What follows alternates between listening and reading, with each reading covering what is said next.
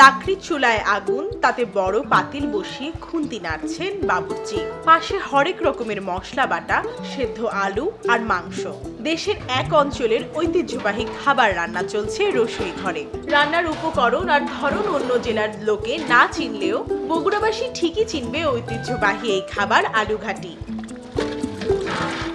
যত আলু, তত মাংস। সাথে বাটা মশলা, পাতিলে এক করে রান্না করা হয় এই খাবার। আলুঘাটি বগুড়ার বড় মজলিস, পিকনিক ও দাওয়াতে খাওয়া হয় বলে জানান বাবুর্চি। গরু গোস ভুনো হয়।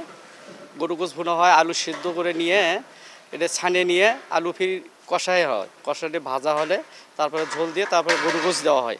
দিয়ে তারপরে ঝোল দিয়ে একদম পারফেক্ট হয়ে গেল, নামাইয়ে দেওয়া যায়। মজলিস বাড়ি আর রোজাদার ব্যক্তি রোজাদার রোজার ভেতর আর কোনো পাঠি এই আইটেমে আর কি। আলুর সাথে মাংস ছাড়াও ডিম ও মাছ দিয়েও খাওয়া হয় এই আলুঘাটি। বিশেষ মশলার ব্যবহারে এক হাঁড়িতেই আলুর এক প্রকার ঝোলের মতো তৈরি করা হয় যাতে ঢেলে দেওয়া হয় মাংস ডিম বা মাছ। মাছ দিয়ে খাই মাংস দিয়েও খাই ডিম দিয়েও খাওয়া যায় যাই যেটা ভালো লাগে। বড় মাছ দিয়েও কেউ খাচ্ছে।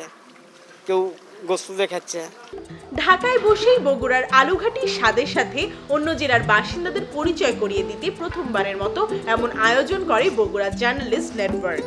বগুড়া থেকে কিন্তু বাবুর্চিকে আমরা পিক করেছি এখানে। এবং বগুড়ার থেকে আলু নিয়ে মানে আমরা নিয়ে আসার চেষ্টা করেছি নিয়ে এসেছি। এবং আমাদের বগুড়ার চাল সব কিছু মিলে আমরা বগুড়ার যে প্রকৃত যে আলু ঘাটি সেই ফ্লেভারটা আমরা এস্টাবলিশ করার চেষ্টা করেছি। আমরাই প্রথমবারের মতো আয়োজন কর- আয়োজন করলাম আমাদের উত্তরবঙ্গের তথা বগুড়ার ঐতিহ্যবাহী একটা খাবার আলুঘাটিকে সবার সামনে জানান দেওয়ার জন্য। ঝরঝরে সাদা ভাতের সাথে প্লেট ভরে আলুঘাটির ঝোল ও মাংস খেয়ে তৃপ্ত আগতরা।